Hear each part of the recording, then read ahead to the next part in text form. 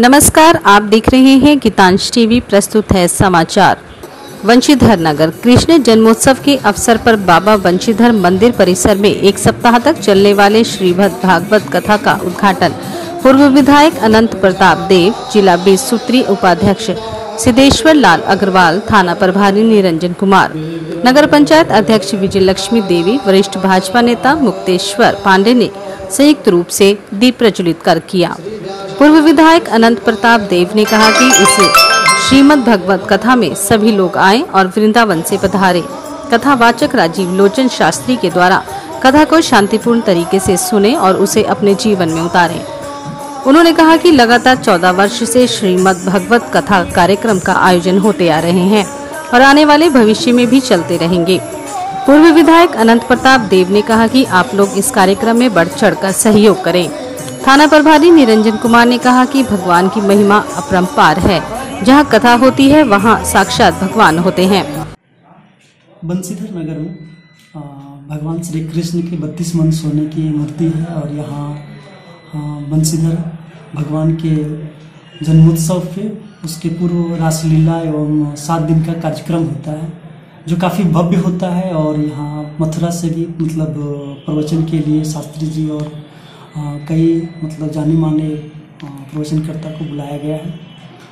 ये वंशीधर मंदिर में भगवान श्री कृष्ण की जो महिमा रही है, जिसके कारण लोग थाना क्षेत्र जिला एवं राज्य से बाहर के भी लोग भ्रमण के लिए आते हैं। काफ़ी श्रद्धालु यहाँ आते हैं और जन्माष्टम ये जन्माष्टमी के दिन इतनी भीड़ रहती है आ, कि मतलब व्यवस्थित होने का रीजन रहता है जिसके हम लोग रासलीला और जन्म मतलब ये जन्माष्टमी को लेकर व्यापक तैयारी किए हैं और हम लोग हर चौक चौराहे पर फर्श की एबिलिटी रखेंगे और पूरे मतलब शांतिपूर्वक इसको मतलब निपटाएँगे।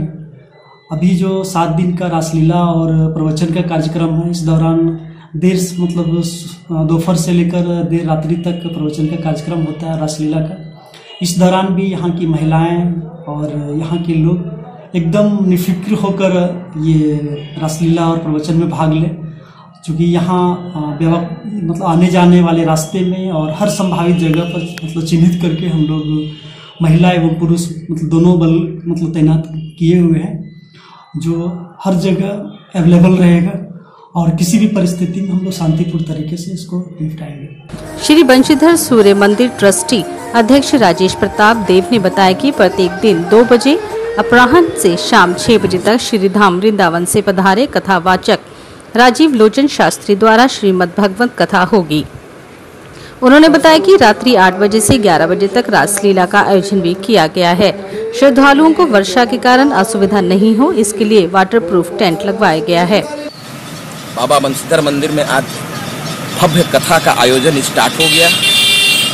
जिसमें वृंदावन से पधारे हमारे राजीव लोचन शास्त्री जी कथा का रसपान कर रहे हैं और ये कथा का रसपान हमारे बंशीधर नगर में सात दिन तक होगा और ये चौदह पंद्रह सालों से ये कथा का आयोजन जो है हम लोग कराते आ रहे हैं। और मेरी जब तक शायद ज़िंदगी रहेगी, मेरी जब तक सांस रहेगी, तब तक ये कथा, भागवत कथा का आयोजन होता रहेगा ये बाबा बंशीधर के धाम में। और मैं तमाम यहाँ के नागरिकों से माताओं से बहनों से गार्जियनों से ये अनुरोध करता हूँ ये निवेदन करता हूँ कि आकर आप जो है कथा का रसपान करें बाबा बंशीधर के प्रांगण में नगरगढ़ के खलिहान में और शाम को रासलीला का भी आयोजन किया जा, जा रहा है जिसमें से कि आज थोड़ा सा लेट हो गया और इसके चलते जो है कल से रासलीला का आयोजन होगा और आज जो है बाबा बंशीधर मंदिर में भजन संध्या का जो है कार्यक्रम होगा कल से रास, रसलीला का आयोजन होगा। मौके पर वीरेंद्र कमलापुरी राजेश कुमार मुकेश रजक उमा शंकर जायसवाल मुक्तेश्वर पांडे अमरनाथ पांडे सहित बड़ी संख्या में लोग उपस्थित थे।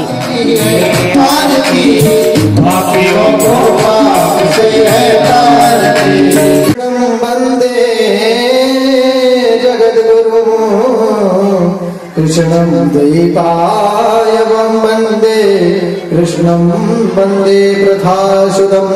श्रीपुराणपुरुषोत्तमाय नमः। श्रीबालगोपालाबीडन्नटवरवपुः कर्णयो कर्णिकारं बिभ्रजवासः कनककविशं वैजयन्ती च मालाम्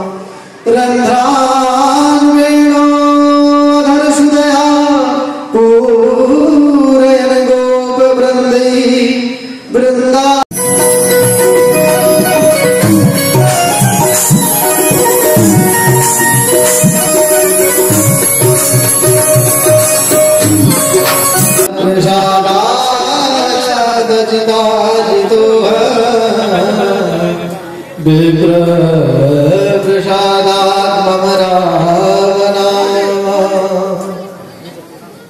श्रीव्यासाय विष्णुस्वरूपाय नमो नमः परमहंसाय नमो नमः।